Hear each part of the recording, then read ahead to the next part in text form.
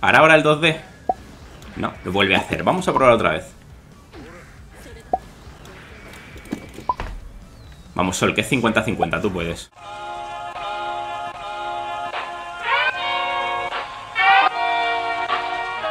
Buenas, hago este vídeo para eh, enseñaros el training para los muy cafeteros, ¿vale? Un paso más allá del training, eh, excelente para los que les guste todo esto de, de de tirarse horas en esos modos de entrenamiento probando cositas.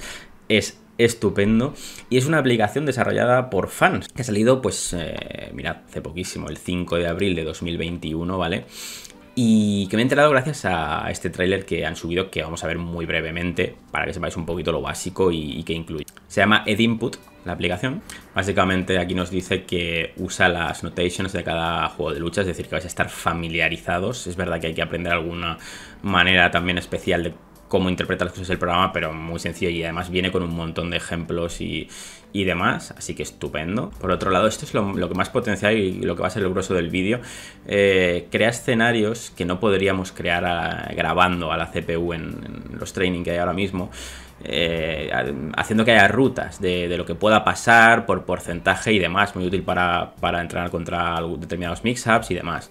Por otro lado, nos dice que podemos controlar todo al frame, es verdad, es una precisión milimétrica. Eh, ahora lo veréis, eh, los, eh, strings, los combos que le pongas, tú los escribes en un blog de notas y pones exactamente los frames que debe haber entre movimiento y movimiento y en vez de grabarte tú, ¿no? Y hacerlo a mano. Entonces, precisión milimétrica realmente. Y esto, que pasa muy inadvertido en este programa, a mí me ha encantado, es que el programa tiene unos sonidos, ¿vale? Unos soniditos cuando, pues cuando salen determinados eh, movimientos, los, cuando salen los strings, cuando sale lo que sea que le hayas puesto. Y esto te ayuda, te ayudará eh, a la hora de desarrollar esa memoria muscular, eh, a la hora de, aprender a bloquear X, strings o de lo que sea, porque tu memoria muscular se va a hacer a, ese sonido que no estaría en el juego base y me ha parecido muy interesante. Bueno, aquí nos dice pues para crear como vídeos de estos con, herramientas asistidas que van al milímetro, bueno, también está bien. Y esto, esto me parece de lo más interesante, porque al final tú estás creando un string, tú estás creando un combo, lo que sea, tan fácil pasarle un, string a otro jugador o, o, la combinación que hayas puesto, como pasarle el TXT y que él lo importe a su programa. Súper sencillo para compartir información. Esto es un puntazo, ¿eh? Realmente. Y bueno, compatible con cualquier juego de lucha que que esté en PC, en consola obviamente no, pero no está hecho para uno específico. Funciona con cualquier juego mm, de lucha que tengáis instalado. Yo lo voy a probar con Guilty Gear, porque es con el que más familiarizado estoy, pero eh, pues funciona con el que sea ahí. La beta ya está disponible, entonces yo os animo a que, a que lo probéis, a ver si con lo que veis en este vídeo os entran ganas y os voy a dejar por aquí abajo en la descripción los enlaces. Antes de pasar a, comentar el programa y hacer un resumen de que nos ofrece, Decir que los creadores, Chemical Lovers, tienen un Patreon por si queréis echarle un ojo, porque el programa la verdad es que lo merece. También tienen eh, esta página que no sé si la conocéis, eh, Drunkard Shade, que tiene unas guías súper interesantes y sobre todo si estáis empezando con algún personaje o en algún juego en específico, em, recomiendo que le echéis un ojo. Sin más dilación, mm, en GitHub está subido, eh, simplemente es muy, muy, muy, fácil de bajar, le dais aquí y os descargáis el zip, ¿vale? ¿Cómo ponerlo en marcha? Sencillísimo. Eh, te viene ya dentro del zip este programa, que hay que instalarlo antes de abrir em, el Ed Input, eh, que es como han llamado a esta aplicación. Básicamente este programa que hace, pues este programa lo que te crea es un segundo mando virtual. Es como si tuvieras conectado un segundo mando, que va a ser el que coja la CPU del training, pero que va a ser virtual, no, no existe, tú no tienes que conectar nada. Y ahí, a través de ahí, pues es como, cómo le va a meter los, los inputs que, que tenga que qué hacer esa CPU. ¿Cómo ponerlo en marcha? Pues una vez instalado este controlador virtual que, no existe, pero nos vamos a hacer las veces de, controlador de la CPU, abrimos el programa EdInput, que es como lo han llamado, y eh, con el, lo, abrimos con el mando, eh, el nuestro, el que sí que vamos a usar nosotros como primer personaje, ya conectado. Yo en mi caso tengo conectado el, arcade stick al, al USB y este es el programa que tenemos que abrir, ¿vale?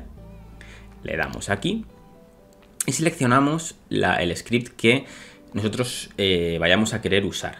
Te vienen un montón, ¿vale? Menos este que pone prueba y este, que es el que voy a usar en el vídeo. todos venían ya. Fijaos que tenéis eh, de test simplemente para probar si funciona para, eh, para un montón, para el KOF, para el Tekken, para Guilty Gear, para Dragon Ball.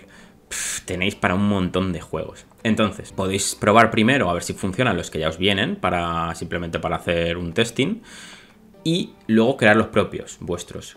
Para crearlo, os venís aquí a GitHub y tenéis todas las instrucciones. Las notation que hacen falta para crear el documento, te vienen ejemplos de cómo crear un documento de prueba, ¿vale? Y te explica lo que hace cómo crearlo enfocado a mixups, cómo crearlo enfocado a looping. Al principio puede parecer un poquito denso, pero te haces enseguida ello con 10 minutos que estés que te leas esto te queda muy claro. Yo he creado este de, Sol, que es una string muy, muy tonto, pero es para que veáis un poquito de lo que es capaz, el potencial de esto. Es darle aquí a seleccionar y coger el que vosotros queréis. Os lo coge en verde si no hay nada mal. He de decir que he probado y cuando, cuando he estado probando y las primeras veces no sabía poner muy bien las notations, lo he puesto mal, te sale en rojo. Es decir, te avisa. No te lo, si está mal escrito, te lo, te lo dice, no te ni se va a buguear ni nada, te sale en rojo y no te lo coge. Y una vez con esto importado, abrimos el juego y probamos, así que vámonos a Guilty Gear y vamos a ver si funciona para que veáis un poquito de lo que es capaz y todo el potencial que tiene. Pues vamos a Guilty Gear a ver si funciona este archivo que he creado yo de prueba. Y la forma es súper sencilla, la de poner este programa en funcionamiento. Nos vamos al training, como lo hacemos normalmente, y nuestro mando lo debemos tener ya conectado pues lo ponemos en nuestro slot. En el primero, yo en mi caso tengo conectado un arcade stick, ¿vale? Y también tengo instalado, que me lo coge como segundo mando, en este caso Steam, porque tengo el juego en Steam, como segundo controlador el virtual que hemos instalado.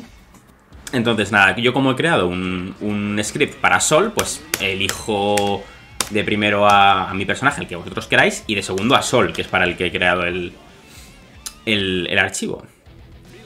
Así que nada, vamos de lleno al training. Como sabéis, hasta ahora lo, tenemos un montón de opciones dentro del training, sí que es cierto. Eh, hasta ahora lo que hacíamos simplemente era, pues, teníamos en cualquier fighting que se, que se preste un botón, ¿vale? Que era el de grabar y un botón que era el de reproducir, ¿no? Entonces nosotros decíamos, vale, pues es que quiero que Sol haga un, un Gunflame, ¿vale? Entonces, hacías el Gunflame, lo dejabas de grabar y cuando querías le dabas a reproducir y te lo hacía, ¿vale? Entonces, pues tú metías, tú grababas los strings que, que quisieras, tal, no sé qué, y luego pues te ponías junto a otro personaje a cubrirlos, ¿vale? ¿Cómo lo hacemos esta vez? Pues tenemos el programa abierto y lo que hacemos simplemente es, en vez de hacer que la CPU sea un training dummy, lo ponemos como controller para que nos coja el segundo. Y en algunos juegos, no en todos, lo que te pide es lo típico de que le des al botón de Start, ¿vale? Para, para, jugar con el segundo controlador. Vale, en este caso, es que esto me ha costado a mí, es una tontería, pero me ha costado un montón, por si a alguien le pasa, es el botón inicio de vuestro teclado, ¿vale? Le dais a inicio y ya está reconociendo el programa, ¿vale? Y ahora simplemente cuando queramos que lo reproduzca, le damos a F3. Ahora, antes de nada, este, este, mm, yo he creado este, este archivo, ¿vale? Se pueden crear, insisto, archivos que sean mix-ups, que sean loops, que sean simplemente una combinación de golpes con los frames que tú quieras. Pero este es el que me ha parecido más interesante, así que por eso os lo muestro. Entonces aquí pongo el título, digo, pues es un mix-up de Sol, de prueba, para Guilty Gear eh, Revelator 2.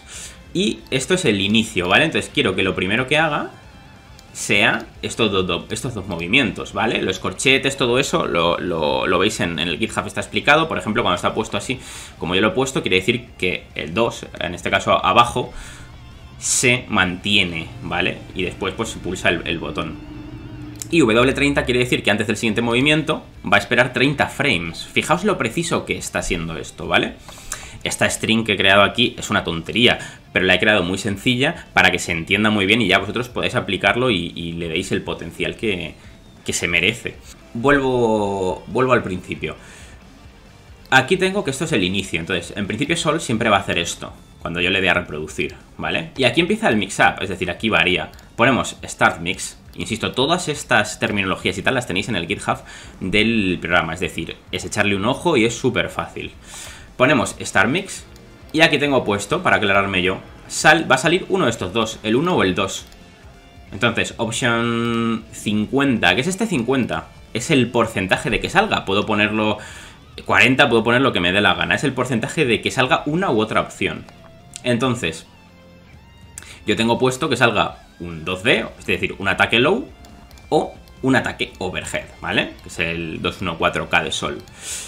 Simplemente sería para que Sol haga estos dos movimientos y después pues tú tengas que elegir entre cubrirte abajo o cubrirte arriba, ¿vale? Es una string muy mala, pero súper sencilla para que os hagáis a la idea. Esto lo podéis complicar todo lo que queráis, podéis meter aquí un montón de movimientos más, aquí el movimiento que vosotros queráis, incluso aquí decís end mix, ¿vale? Y aquí acaba lo que varía, lo que puede variar, pero podéis seguir con una string fija. Entonces fijaos el juego que da esto. Vamos a ponerlo en práctica.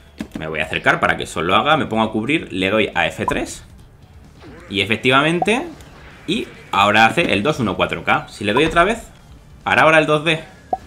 No, lo vuelve a hacer. Vamos a probar otra vez. Vamos, Sol, que es 50-50, tú puedes. Ahí ha hecho el 2D, ¿veis? Entonces, está súper bien para el tema de practicar a cubrir mix-ups. También se pueden hacer loops. No voy a poner aquí en práctica en el training todos porque sería una locura, sería mucho tiempo. Pero simplemente quería hacer un vídeo cortito mostrando de lo que es capaz esto para que lo probéis, porque de verdad que abre un mundo, insisto, para los muy cafeteros de, del training. Está en beta, es decir, esto se va a perfeccionar, no sé si tienen intención de hacer alguna HUD, algo más visual a la hora de crear los TXTs, eh, pero realmente va por muy buen camino. Insisto, podéis probarla de manera totalmente gratuita. Recordad, en la descripción tenéis todo y nada, a lavear en el training.